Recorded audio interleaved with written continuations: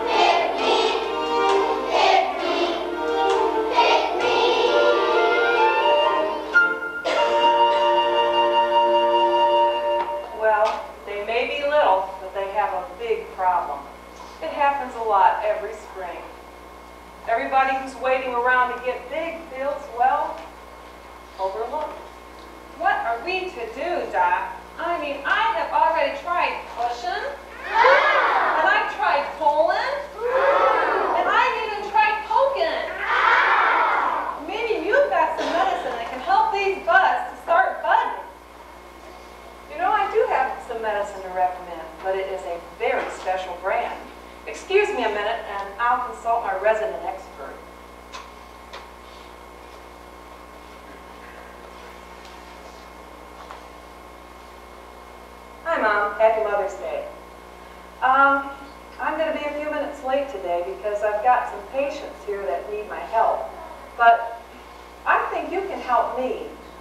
Do you remember when I was little and in a hurry to get big? What did you do? Uh-huh.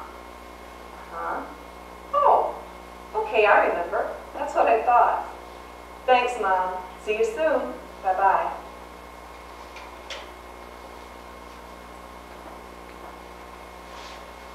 Your mother has the cure? Most mothers do. In fact, my casebook is full of their story. Um, here's one that happened over 125 years ago, and it tells about the very first Mother's Day. I think it's what we all need to hear.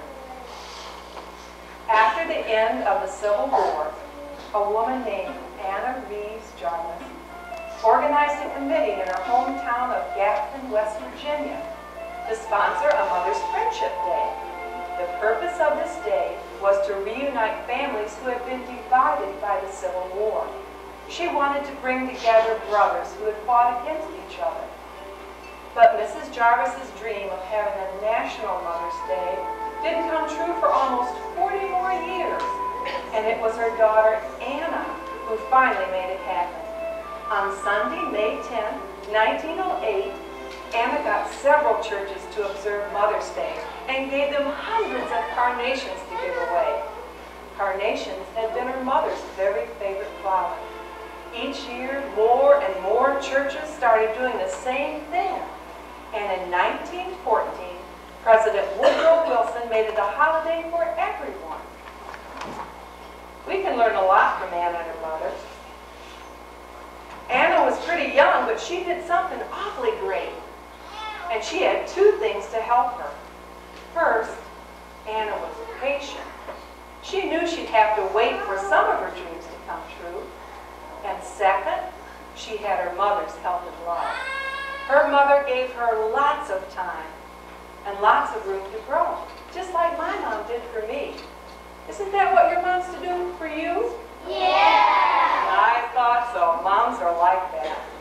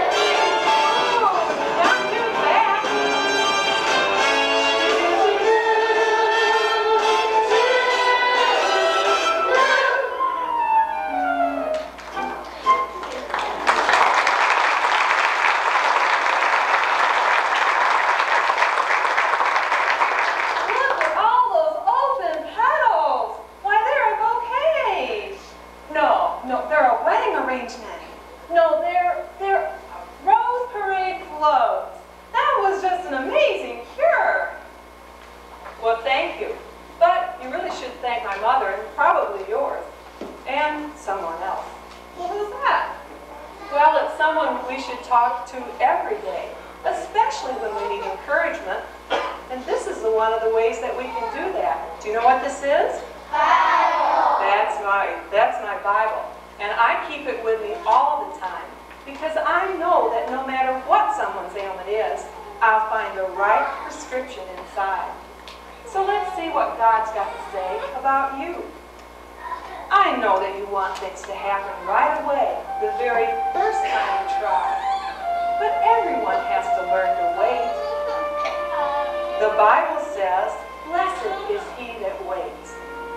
And even though it seems like you're having to wait an awfully long time because you're small, remember, God has big plans for you. And he uses you no matter what size you are. It's just like Jesus said about the mustard seed. It's the smallest of all the garden seeds. But when you plant it in the ground, it grows and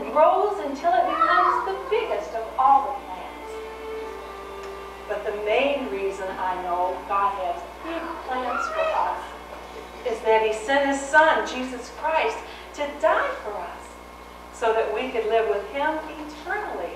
And I know that that's worth waiting for.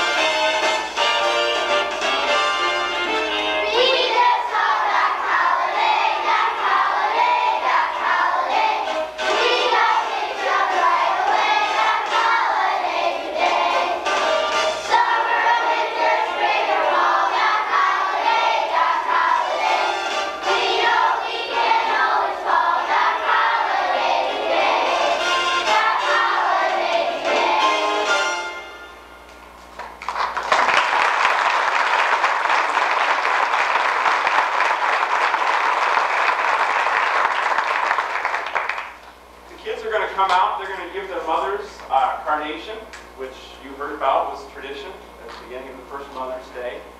Um, before they do that, I want everyone to stand who helped in sewing these costumes because this was a major project. Those of you that helped, stand up. Stand up. They're all sitting back.